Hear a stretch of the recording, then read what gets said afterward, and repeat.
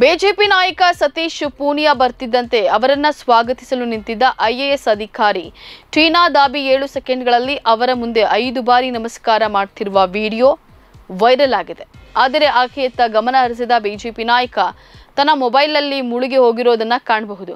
ಪ್ರಸ್ತುತ ಬಾರ್ಮರ್ ಜಿಲ್ಲಾಧಿಕಾರಿಯಾಗಿ ಸೇವೆ ಸಲ್ಲಿಸ್ತಾ ಇರುವ ಐಎಎಸ್ ಅಧಿಕಾರಿ ಟೀನಾ ದಾಬಿ ಅವರು ರಾಜಸ್ಥಾನದ ಬಿಜೆಪಿ ನಾಯಕ ಸತೀಶ್ ಪೂನಿಯಾ ಅವರ ಮುಂದೆ ನಮಸ್ಕರಿಸುವ ಮೂಲಕ ಚರ್ಚೆಗೆ ನಾಂದಿ ಹಾಡಿದ್ದಾರೆ. ಇಡೀ ಘಟನೆ ಕ್ಯಾಮೆರಾದಲ್ಲಿ ಸರಿಯಾಗಿದ್ದು ಸಾಮಾಜಿಕ ಜಾಲತಾಣಗಳಲ್ಲಿ ವಿಡಿಯೋ ವೈರಲ್ ಆಗಿದೆ.